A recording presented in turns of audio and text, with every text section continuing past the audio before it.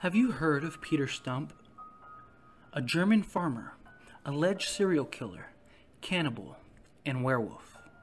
He is the most famous case of werewolfism in history, and his execution and trial have been debated over the years.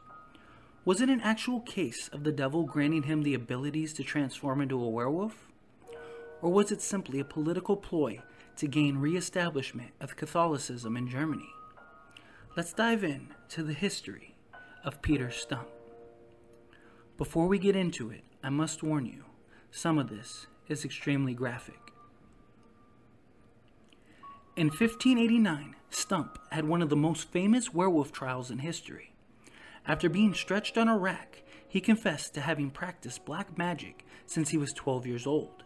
He claimed that the devil gave him a magical belt which enabled him to transform into the likeness of a greedy, devouring wolf, strong and mighty, with eyes great and large, which in the night sparkled like fire, a mouth great and wide, with most sharp and cruel teeth, a huge body, and mighty paws. Removing his belt, he said, made him transform back to his human form. For 25 years, Stumpp had allegedly been an insatiable bloodsucker who gorged on the flesh of goats, lambs, and sheep, as well as men, women, and children. Being threatened with torture, he confessed to killing and eating 14 children, two pregnant women, and their fetuses. One of the 14 children was his own son, whose brains he was reported to have devoured. Not only was Stumpp accused of being a serial murderer and cannibal, but also of having incest relationships with his daughter, who was sentenced to die with him, as well as coupled with a distant relative, which was also considered to be incest according to law.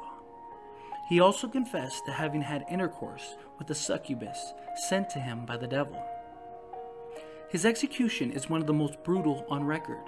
He was put to the wheel, where flesh was torn from his body in ten places, with red hot pincers, followed by his arms and legs.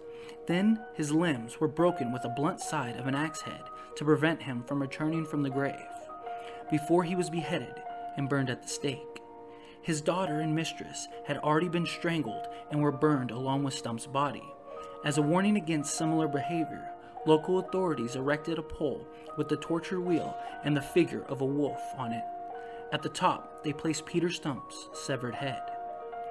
It is impossible to determine whether Stumpp really committed the crimes of which he was accused. He may have been a serial murderer, though there are a number of details in the London pamphlet that are inconsistent with the historical facts. The years in which Stumpp was supposed to have committed these crimes, 1582 to 1589, were marked by eternal war and the electorate of the Cologne. After the abortive introduction of Protestants by the former Archbishop Jared Tisha von Waldburg.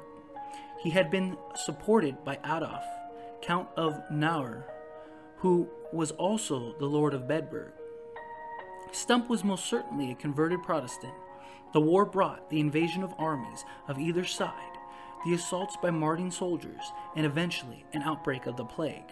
Murder and violence were the rule. When the Protestants were defeated in 1587, Bedburg's castle became the headquarters of the Catholic mercenaries under the command of the new lord of Bedburg, Sam Dyke, who was a staunch Catholic determined to re-establish the Roman faith.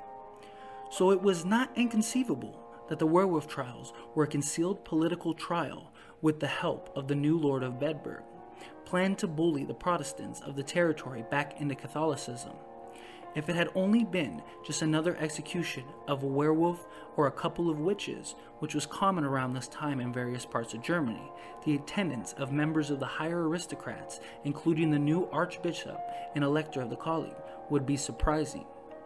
Furthermore, the trial remained a singular event, nor did the judge refer to the new werewolfism and explain the animal transformation as an infernal delusion.